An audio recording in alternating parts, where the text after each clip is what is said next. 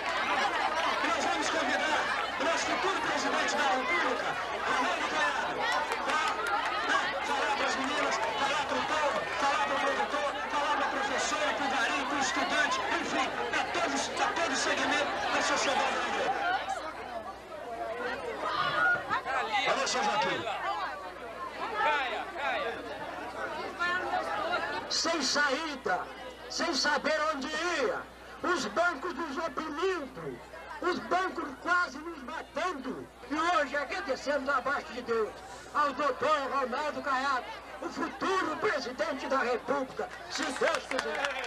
É um homem destemido, é um homem de coragem, que veio no interior encontrar com o eleitor. Com vocês, Ronaldo Caiado.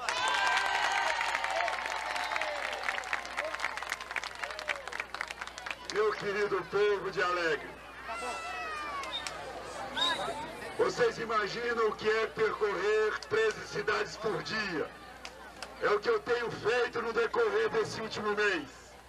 É no interior do Rio Grande do Sul, ao extremo norte deste país. E agora chegando nesse querido estado do Espírito Santo. Por isso eu peço desculpas, por já estar um pouco afônico, por já estar um pouco cansado no fim do dia Aonde ainda tenho que percorrer mais quatro cidades para finalizar essa maratona de hoje. Mas quero aqui dizer a vocês, minha gente, de que aquilo que o companheiro e o vereador relatou aqui, eu fico muito grato, porque foi exatamente o que aconteceu. Porque, na verdade, naquela hora, para poder contestar a pressão do governo e para poder contestar a pressão do sistema financeiro nacional. Só existiu uma classe que de empunhar essa bandeira, que foi a classe produtora rural deste país. De aparecer na mídia nacional. E hoje tenho que sofrer todo tipo de retaliação, porque eles precisam de comprar pesquisa nas grandes cidades e nos colocar lá embaixo, tentando com isso achar que vão diminuir a nossa garra, a nossa vontade, a nossa coragem. Pelo contrário, com essas dificuldades é que nós crescemos, com essas dificuldades é que nós andamos 24 horas por dia, para mostrar ao povo do interior que nós não vamos aceitar essa manipulação feita por alguns órgãos da grande mídia nacional. E com o apoio de todos vocês, minha gente, nós vamos, se Deus quiser, mostrar a nossa força no dia 15 de novembro.